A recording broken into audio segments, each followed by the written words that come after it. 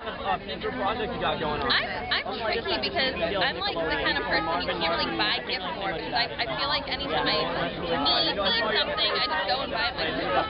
I'm more for experiences. Like I, I like like trips and like that, like for sure. Yeah, experience. No, but I mean, I wish you could take out a copy or something. I never had. Oh, that You know, would like be Christmas great. cliche one where you open Yeah. the box and find the tax. When I was younger and I didn't have my my brother yet in my life, I wanted a brother so bad. And then box, so it was, a little bit of a letdown. But you know, belated gifts are was All right.